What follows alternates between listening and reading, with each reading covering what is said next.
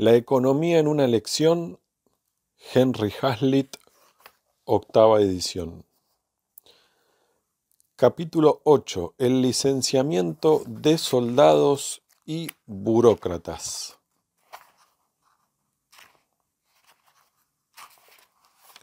Cuando al finalizar las guerras se proyecta la desmovilización de las Fuerzas Armadas, surge siempre el temor de que no haya suficiente número de empleos y que, en consecuencia, se produzca paro.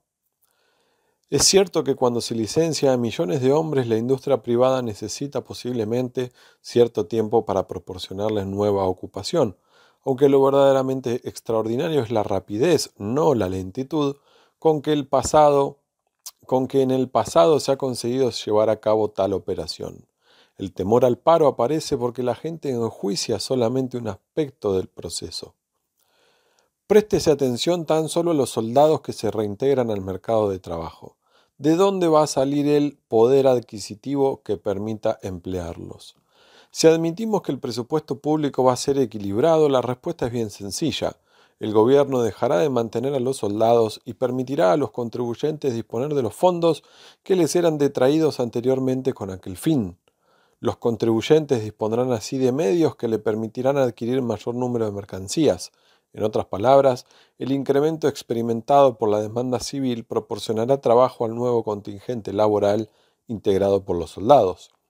El caso es distinto si se hace frente al gasto militar con un presupuesto desequilibrado, es decir, mediante emisiones de, deuda pública u otras formas de financiación deficitaria. Esto plantea una cuestión diferente, la relativa a la financiación deficitaria, que será examinada más adelante. De momento, basta con aclarar que el tema de la financiación deficitaria carece de relevancia en orden al problema que ahora examinamos. Si se juzga ventajoso un déficit presupuestario, nada impide su continuación mediante la reducción de los impuestos en las mismas sumas previamente destinadas al sostenimiento de los ejércitos en acción. La desmovilización, una vez iniciada, transforma la situación económica anterior los soldados mantenidos previamente por la población civil no se convertirán en ciudadanos dependientes del socorro de sus conciudadanos. Por el contrario, pronto gozarán de autonomía económica. Si damos por supuesto que las necesidades de la defensa nacional no exigen la presencia de estos hombres por más tiempo en las Fuerzas Armadas, su retención en ellas equivaldría a dilapidar riqueza inútilmente.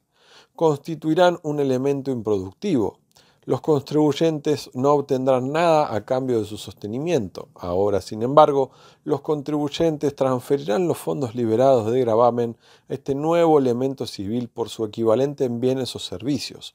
La producción nacional total, la riqueza de todos, se verá acrecentada. El razonamiento es aplicable a los funcionarios públicos de la Administración del Estado, siempre que sean tan numerosos que los servicios que presten a la comunidad no guarden proporción razonable con los sueldos que perciben. Sin embargo, cuando se intenta reducir el número de funcionarios considerados superfluos, es seguro que esta acción ha de ser protestada por deflacionaria. Vamos a suprimir la capacidad de compra de estos funcionarios, vamos a irrogar prejuicios, perjuicios a los caseros y comerciantes que dependen de ese poder adquisitivo. Con ello tan solo se conseguirá disminuir la renta nacional y provocar o acentuar la tendencia a la depresión. Una vez más, el sofisma consiste en prestar atención tan solo a los efectos de esta acción sobre los funcionarios despedidos y los comerciantes que dependen directamente de ellos. Una vez más se olvida que si estos funcionarios pierden sus empleos, los particulares podrán retener el dinero con que venían contribuyendo a su sostenimiento.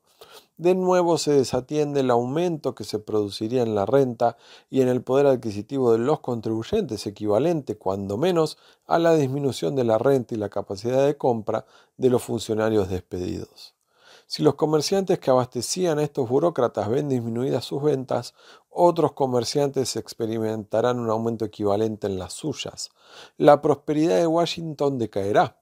Quizá no pueda sostener tantos negocios, pero otras ciudades verán aumentar los suyos. Pero no es esto todo.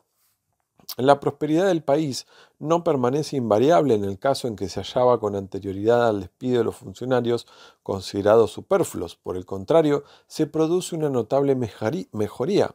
Los antiguos funcionarios comenzarán a integrarse en la industria privada como empleados o como empresarios y el proceso de adaptación será facilitado por el mayor volumen de dinero de que dispondrán los contribuyentes, tal como ocurría en el caso del licenciamiento de soldados. Los antiguos funcionarios deberán ofrecer a los empresarios privados y, en definitiva, a sus clientes, servicios equivalentes a los ingresos que sus nuevos empleos les proporcionan. Con ello dejarán de ser miembros inútiles de la comunidad y comenzarán a producir para ella. Debo insistir de nuevo en que lo expuesto anteriormente no va dirigido contra los funcionarios públicos cuyos servicios son realmente necesarios. Los servicios de policía, incendios, sanidad, higiene municipal, los jueces, los legisladores, los ministros, etc., realizan una labor productiva tan necesaria a la comunidad como lo puede hacer la de aquellos miembros más destacados de la industria privada. En realidad, hacen posible que dicha industria pueda desenvolverse en un ambiente de legalidad, orden, libertad y paz, pero su existencia se haya justificada por la utilidad de los servicios que prestan, no por el poder adquisitivo de que disponen por hallarse incluidos en las nóminas del Estado. Analizado seriamente, el argumento de la capacidad de compra resulta ser una quimera.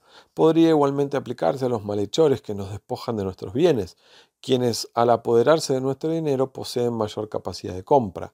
Con ella, con sostienen bares, restaurantes, clubes nocturnos, sastres y quizás algunos obreros de la industria automovilística, pero por cada empleo que sus gastos proporcionan, nuestro propio gasto proporcionará un empleo menos, porque no dispondremos de la cantidad que nos fue sustraída. De igual forma, por cada empleo creado merced a los gastos de los funcionarios, los contribuyentes proporcionan un empleo menos. Cuando un ladrón nos despoja de nuestro dinero, no adquirimos nada a cambio.